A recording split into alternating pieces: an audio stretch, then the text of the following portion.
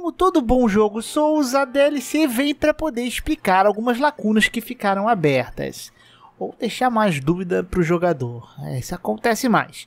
Mas existem algumas questões e mistérios não tão solucionados em Elden Ring, ou coisas que a gente gostaria de ver que pode aparecer na DLC que vai vir, que é a Shadow of the Earth Tree. E nesse vídeo eu quero falar de sete mistérios e coisas que podem ser revelados nesta DLC pra gente. Então, antes da gente começar o vídeo, não se esqueça de conferir a nossa box tematizada Souls e também de acessar o nosso grupo de promoções, é o link estão aí na descrição para vocês. E vem comigo. Bem, vamos começar com o mais óbvio, que é Mikela e Godwin, que são dois deuses ali, semideuses, né, que tem a lore um tanto misteriosa ainda. Embora ela tenha coisas explicadas, existe muito mistério por trás desses dois personagens. Mikela com a sua relação com Santrina, por ser relacionado a sonhos, etc. E o Godwin do porquê que ele foi escolhido para ser ali, né, a primeira vítima ali, o porquê que o corpo dele está criando, espalhando tudo aquilo ali ao redor do mundo, aquela podridão, né? E se existe alguma, algum tipo de ligação, algum outro mistério por trás, algo a mais sendo explorado por esses dois semideuses, que são os dois semideuses mais ali que ficam de lado dentro do jogo, sendo o Mikela ainda mais deixado de lado que o Godwin, envolto de muito mistério, né, do que são esses personagens e o que eles têm de papel também e o que mais eles podem encontrar sobre a lore dos semideuses dentro de Elden Ring. Então, esse daí é um dos grandes mistérios que eu acredito que vai ser solucionado na DLC, né? A gente tem pistas de que Mikela é que tá naquela foto. A gente tem pistas também de que aquelas coisinhas que estão na Red Tree, tipo aqueles farelos são muito parecidos do corpo de Godwin também, né? Então dá a entender que a gente vai ter uma ligação entre esses dois deuses, muito possivelmente. O próprio Mickey tentou já, né, salvar Godwin, né, daquele estado que ele tá. Então eles têm uma ligação, sim. Outra coisa que eu falo desde quando saiu Elden Ring é a bendita da quest do Patches com a Tenth, que ele ela não termina, cara. Ela não termina direito. Era uma quest que eu achava que ela ia terminar vindo updates aí e ela nunca terminou não interessa, essa quest não termina e é irritante. O que acontece? A gente pode fazer toda a quest do Rykard, que inclusive é um dos meus bosses favoritos do jogo, e a quest do Patches, né, que tá interligado com a esposa do Rykard, que é a Tenet, e simplesmente depois que a gente termina a quest do Patches, ele nos dá um item, né, que a Tenet ela era dançarina de uma outra terra, se eu não me engano, e ele dá este item para ela. A Tenet fica ali consumindo o, o que faltou, o que restou do Rykard e fala para você não perturbar ela.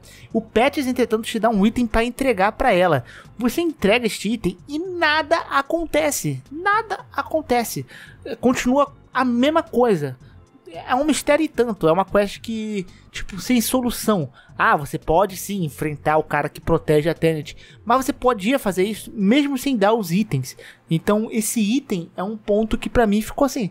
Por que, que ele existe? Por que, que ele tá ali? E o Patches manda você entregar isso pra Tenet pra ela meio que mudar ou ela relembrar e tal.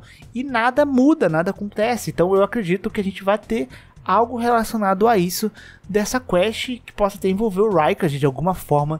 Ou vai ficar uma quest com aquele sentimento de incompleto para sempre. Eu não sei o que vai acontecer aqui. Outra grande questão que nós podemos ter de mistérios sendo revelados é um pouco mais sobre Melina. A gente não sabe quase nada sobre essa personagem. A gente tem, claro, teorias da ligação dela e da Honey, que falam até que elas podem ser a mesma pessoa ou algo parecido. A gente tem aquele final misterioso que ela vai atrás da gente quando a gente faz o final ali da Friends Flame, né, das chamas da loucura e ela tá numa forma diferente ali.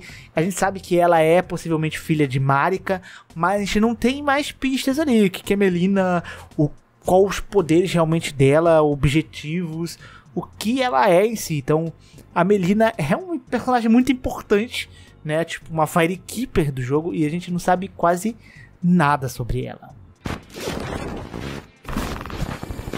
Uma coisa que chamou muito a atenção neste pôster e que há muito tempo eu busco mais ou menos uma resposta e não tem, pelo que eu vi, são ali aquelas, você vê aquelas tumbas, aqueles túmulozinhos de fantasmas, e é algo que está bem focado ali, né, nessa nova imagem, que são esses túmulos fantasmas ali.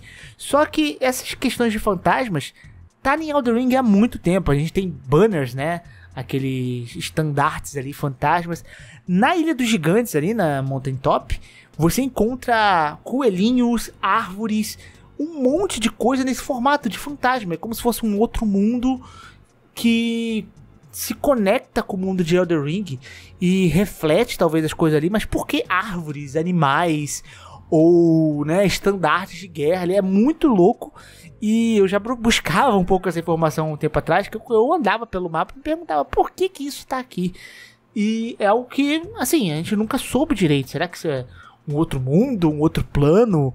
Né? E a gente tem isso em evidência ali nesse, nesse pôster né, da DLC. E eu espero que seja algo que seja explicado melhor, que não fique só naqueles campos das teorias malucas da vida, né? Outra coisa são os Imperials, né? Os Empyreans, que são semideuses, mas são semideuses que são candidatos a ascender como os deuses, sabe? Não existe muito que uma classificação 100% completa sobre o que é um Império ou o que faz os deuses, semideuses serem um império. A gente sabe que os impérios eles podem se ascender a deuses e não só como deuses ali da grande vontade, da árvore, né? A Malenia, por exemplo, é dito na descrição que se ela desabrochar uma terceira vez, por exemplo, ela iria se acender como uma deusa. Então, existem formas de se acender. O próprio Mog, né, pega Mikela com a intenção de acender ele como um deus, e existem métodos diferentes para isso. Talvez você possa acender Deus para representar outras divindades, mas enfim, a gente não tem muito sobre os impérios. E falta muito sobre eles o que é isso, o que, o que significa, o que torna uma pessoa um império, qual é o objetivo além de só se tornar um deus. Deve ter um motivo por trás, um, uma espécie de critério, eu, eu não sei. É muito louco, né? Mas a gente não tem muito sobre é, esse tipo de pessoas e o porquê que eles são dessa forma e eles se acendem, por que eles se acendem a deuses assim. Indo nessa mesma questão dos impérios, nós temos a Rainha dos Olhos da Noite, que é uma entidade que também é um império, mas que só é mencionada nos arquivos do jogo. É dito que ela foi derrotada por Maliketh, mas por que que ela surgiu e por que que ela tem esse objetivo que era derrotar os deuses.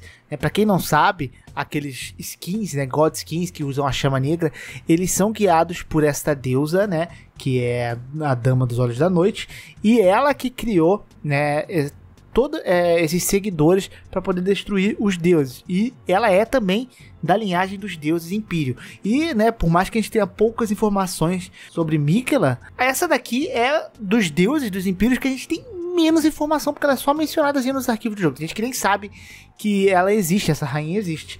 E seria um personagem muito interessante a gente descobrir um pouco mais também, porque é um, um império, né? Que a princípio é uma pessoa que se acende a uma divindade. Por último, nós também temos a questão do mestre da Malênia, né? E também uma outra entidade que seria o deus ou a deusa da podridão.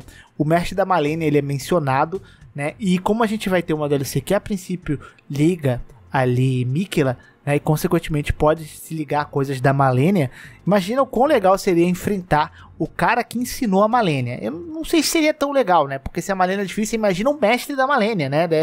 É, meu amigo, deve ser um negócio meio tenso. Mas aqueles, aquelas firulas, aquelas danças que ela faz, foi o mestre dela que ensinou. E o cara era tão brabo que foi ele que selou ali o deus da podridão. E aquele lago de podridão que a gente tem submerso ali, é justamente onde aquele deus foi selado pelo mestre da Malênia. Seria muito legal a gente descobrir um pouco mais sobre esse personagem e quem sabe até enfrentar ele. Seria uma luta e tanto, meus amigos. Adoraria ver isso. E meus queridos, é isso. Espero que vocês tenham gostado desse vídeo. Um grande beijo, um grande abraço, um beijo no popô. Até a próxima e tchau!